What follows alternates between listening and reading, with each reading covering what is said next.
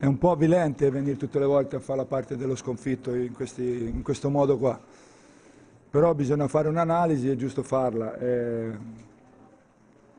mi ha giocato con Venezia e il dato di fatto è che noi partiamo sempre handicap, voglio arrivare lì, andiamo sempre sotto di 10, di 15, l'abbiamo fatto con Venezia, poi a due minuti dalla fine eravamo pari, l'abbiamo fatto con Reggio Emilia uguale, l'abbiamo fatto con Avellino uguale.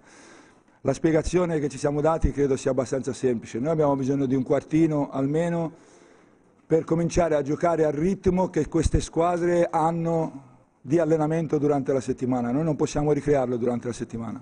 Non è un alibi, è un dato di fatto, a questo punto ce ne siamo accorti che è veramente questo.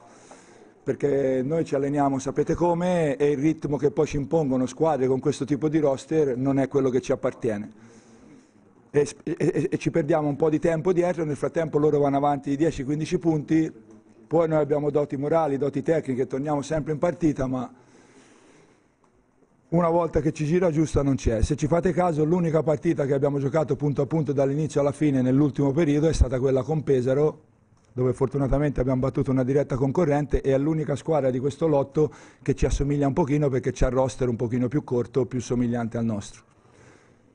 Eh, questa è un'analisi da, dalla quale non si scappa, è una, è una, situazione che ci teniamo anche le ultime due settimane, quindi la cosa che ci deve dar fiducia è che alla fine con squadre eh, che occupano i primi posti della classifica noi ce la giochiamo fino alla fine, questo sì.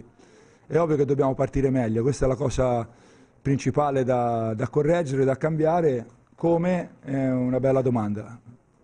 Studieremo qualcosa.